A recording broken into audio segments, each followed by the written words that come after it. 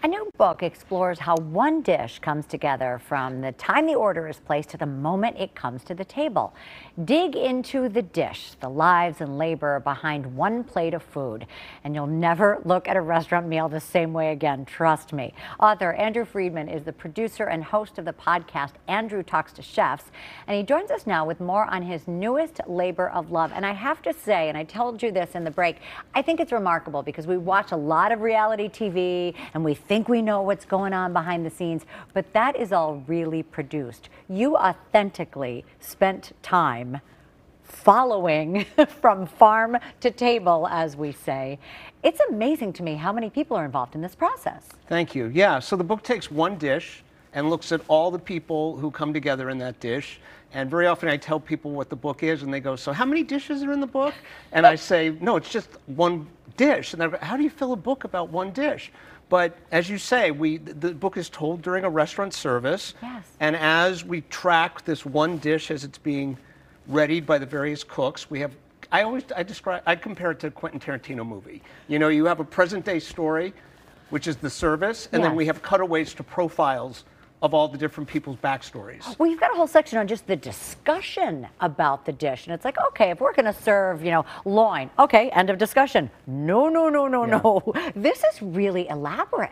Yeah, this was a, the restaurant, which is sadly closed now. They're about to open a new restaurant in the space. It was Wherewithal, the same couple that own Parachute here in Chicago. And they changed the menu there every week. So, in the midst of the menu they're currently serving, every Thursday after dinner service, like 12:30 in the morning, Friday morning, two of the chefs would sit down with a list of what was available from area farms at that moment, or they knew was coming up, and they would start to concept the menu for the following week, and then they would R&D, research and develop some of those dishes in the midst of the current week. So it was like a constant cycle. And you didn't just spend time at the restaurant. You went down to the farm. I mean, I was so amazed to think that even the deliveries, sometimes the, farmer himself comes and, and delivers the product. Oh, I think more often than not, if it's a, if it's a small family farm, Yes. um, very often. I mean, there's I profile a guy named John Templin who has Butternut Sustainable Farms in Michigan, and he, you know, he works the farm all week with a small crew, and then every week he comes and makes deliveries himself. But there's another part of that, which is that's the time they get to have a little FaceTime with the chefs Right. to get a feel for the restaurant, to get feedback on what they've been providing, and also to give the chefs information. I'm going to be a little light on carrots next week, or I have this new crop that's about to come in. I think it's going to be amazing. So the chefs can start thinking about what they might do with those things.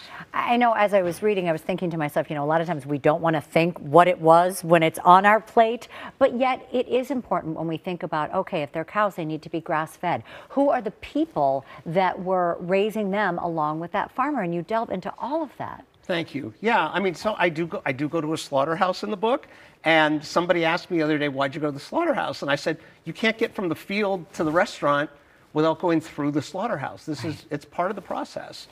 So I want to ask you why you wrote the book because it's such an interesting story and you get to know and really like the characters. But in a way, I feel like it's a thank you to the oh, people that work in the business. Was that your motivation? Oh, 100%. Okay. So I've been covering this industry for a little more than 20 years. Uh, I've come to know a lot of people beyond just the chefs who are in the limelight.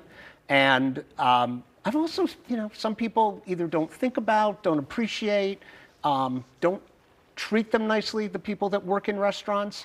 Um, and they don't realize how hard these jobs are and that these people have you know, backstories and challenges and current lives that are just as interesting and, and complex as ours. And I just think it's a customer failing that a lot of people don't think about that. So I wanted them to really get a sense of who these people are who make it possible for us to enjoy restaurants. Well, I tell you, I will never be late again for a reservation. Not that I uh, usually like to. I mean, I certainly like to be prompt.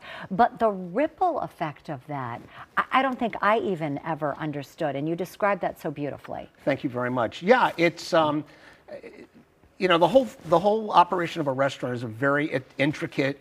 Um, uh, it's very intricate. There are a lot of moving pieces. There are a lot of intersecting pieces. And if one thing, I, I talk in the book about dishwashers. And I, you know, I profile the dishwasher in the book. Nobody thinks about this. If the dish department goes down, the dishwashing department, you don't have plates, you don't have bowls, you don't have cups, you can't serve food. And that is one of the most important roles in any restaurant. And people, I don't even think, think about the, the human doing that job. Right. You also talk about the owner chefs and the chef de cuisine on down to the young, hopeful chefs. And boy, that is not for the faint of heart. Yeah, it's a lot of work. Uh, it used to be even worse because you know you could people could pay you for just working a shift, but you might be working four, five, six hours beyond the shift. Uh, but it's still it's very hard work. It's very stressful. Uh, I think people discover pretty quickly whether or not they're meant for this life. And um, the team in this restaurant was, you know, they were all doing a great job. Uh, but yeah, there are people who, as I like to say, from like officer and gentleman, there are people who ring the bell Yes. and, and get out like before they're even done training. That Sure. that does happen. Well, you'll have to read the book to find out why a lot of the chefs here didn't like Tuesdays. Um, it was a great education, I think, as well as a wonderful story. So thank you for sharing and thank you for being here today to talk about it.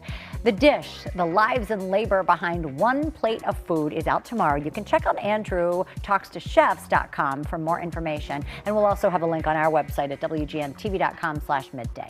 We'll be right back.